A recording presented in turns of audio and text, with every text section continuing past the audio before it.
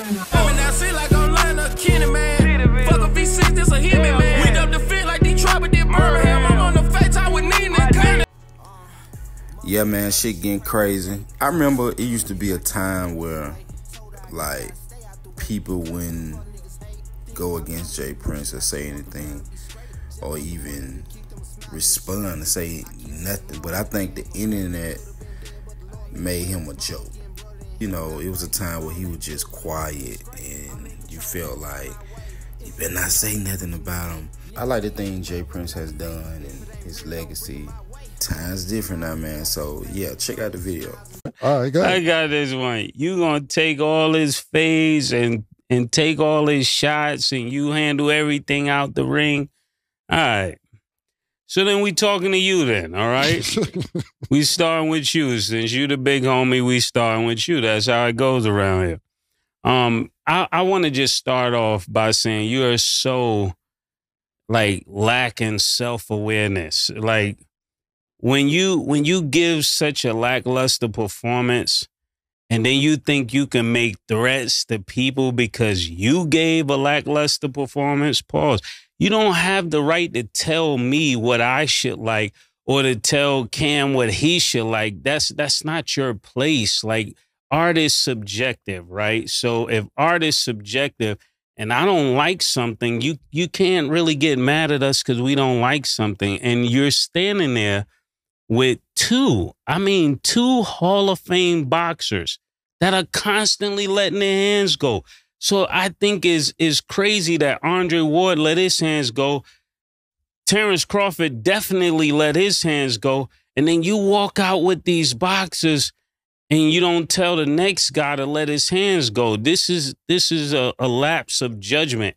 And I'm gonna tell you another thing. When you're dealing with older people, they're the last to know that things have changed. We not your little niggas. Like the way you talk it, I don't, I don't get what you mean. We're not your little niggas. Like for real, all that big homie stuff, that's for little niggas. Little niggas have big homies. We're not little niggas, so we don't even respect big homies. I know Killa doesn't, and for me, I never respected niggas in the streets. That's why I always got the problems I got. Niggas would tell me, Mase, chill. No, chill for what? Who is this nigga? That's how I feel listening to this, man. Like, I want to respect you, but I can't. And I'm going to tell you why. Because if I got a little, like the dudes that raised me, if I was out of pocket, they would tell me I'm out of pocket. They wouldn't let me put them on a crash out mission. They would say, yo, Mase, listen, listen. Mhm. Around here, we don't send niggas to do nothing for us. We don't pay niggas to handle our problems. Mhm. You got to put in your own work around here, Lord, man. That's what you were supposed to tell them. You can't go out here and talk crazy and then send me on a mission. Mhm. Nah, this is where the game got messed up when young niggas started sending old niggas out.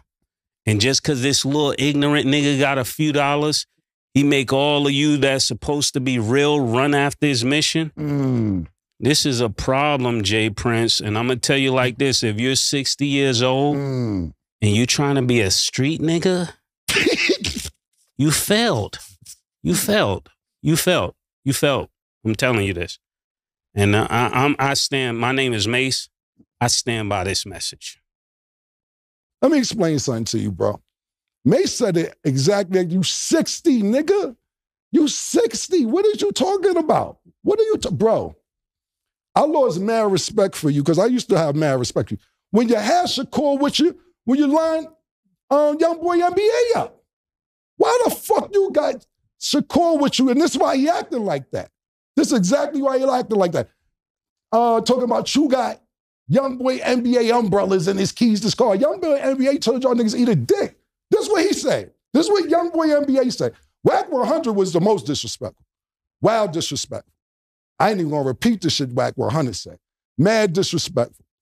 Drake is beefing with Kendrick Lamar as we speak. I have not heard this. is the first time Drake got into some shit, and I hear you say shit to Kendrick Lamar now. Why do you think that you could tell us what we can and cannot say, my nigga? Control your nigga. Control that nigga. Ain't nobody gonna tell a nigga get the strap and then we gonna sit there and be like, hey, hey, I think we we should shut up. Nah, nigga. This ain't no, this is not 1982, bro. You cannot sit here and tell niggas get the strap and then niggas be quiet. Nobody know that part because I should just be going viral. You bugging. You bugging, James. You bugging, my nigga. And I'm gonna leave it at that. I don't know what bet you talking about, all that other slang then. Bet it. Whatever bet you talking about, bet it. I don't know what's bet it. bet it. You want to bet it? Bet? I don't know what's to bet it.